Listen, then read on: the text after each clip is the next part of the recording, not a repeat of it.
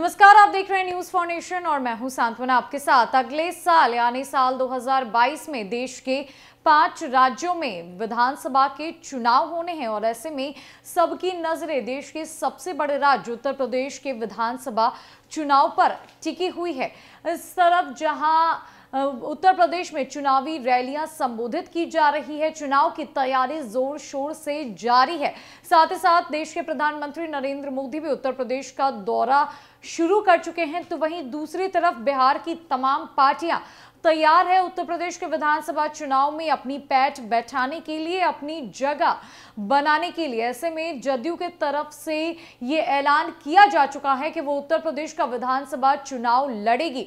लेकिन अब एक बड़ा बयान, केंद्रीय इस्पात मंत्री और जदयू के पूर्व राष्ट्रीय अध्यक्ष आरसीपी सिंह के तरफ़ से सामने आया है, जहाँ पर उन्होंने इस बात को साफ़ करते हुए ऐलान किया है कि जदयू उत्तर प्रदेश में गठबंधन में चुनाव लड़ेगी यानी कि जदयू अकेले नहीं बल्कि भाजपा के साथ गठबंधन में चुनाव लड़ेगी और उत्तर प्रदेश में अपनी सरकार भी बनाएगी।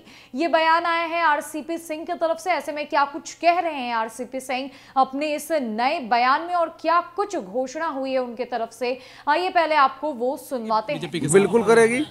आप क्या तैयारी में है कि गठबंधन बिल्कुल तो बिल्कुल हम लोग तैयारी में हैं। कितनी सीटों में चार हैं सर हाँ, आपको तो ज़िम्मेदारी दी गई थी गठबंधन की। गठबंधन हो पाया है? देखिए जिम्मेवारी सबकी होती है। कोई व्यक्ति का थोड़े होता पार्टी का होता है।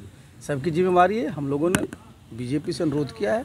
उन लोगों ने पॉजिटिव बात की है। तो इसके आगे अभी क्या कितनी सीटों पर आप लोग की मांग ये कोई हम लोग मांग नहीं करते भाई। अगर गठबंधन नहीं होती है तो फिर क्या अरे करें आप नहीं पर क्यों तो जाते जैसा कि आपने सुना कि आरसीपी सिंह ने इस बात को साफ़ कह दिया है कि जदयू उत्तर प्रदेश में चुनाव लड़ेगी हालाँकि उनके तरफ़ से यह साफ़ नहीं किया गया है कि चुनाव कितनी सीटों पर लड़ा जाएगा। साथ ही साथ आरसीपी सिंह ने यह भी कहा है कि जदयू कभी सीटों की मांग नहीं करती है। ऐसे में आपसी विचार विमर्श के बाद सीटों का ऐलान कर दिया जाएगा। लगातार ऐसे कयास लगाए जा रहे हैं कि जदयू भाजपा पर दबाव बना रही है। उत्तर प्रदेश में गठबंधन के साथ चुनाव लड़ने का, साथ ही साथ जदयू सीटों की मांग भी कर रही है। लेकिन जदयू की तरफ़ से हालाँकि इस बात की आधिकारिक घोषणा नहीं की गई है। साथ ही साथ आरसीपी सिंह का यह भी कहना है कि जदयू कभी भी किसी से सीटें नहीं माँगता है। ऐसे में अब देखना यह होगा कि जदयू और भाजपा मिलाकर कितनी सीटों पर उत्तर प्रदेश में चुनाव लड़ने वाली है, जदयू को कितनी सीटें मिलने वाली है साथ ही साथ आपको बता दें कि बिहार में एनडीए के गठबंधन के अंतर्गत वीआईपी पार्टी, जो कि मुकेश सहनी की पार्टी है, उस पार्टी ने इस बात का ऐलान कर दिया था कि उत्तर प्रदेश में वो चुनाव लड़ेगी। हालाँकि वीआईपी पार्टी उत्तर प्रदेश में गठबंधन के अंदर नहीं, बल्कि अकेले निषाद समाज के लिए चुनाव लड़ने को तैयार है और मुकेश सहनी ने इस बात को साफ़ कह दिया है कि वो कुल एक सौ पैंसठ सीटों पर चुनाव लड़ेंगे और साथ ही साथ एक सौ पैंसठ सीटों पर जीत भी दर्ज करेंगे।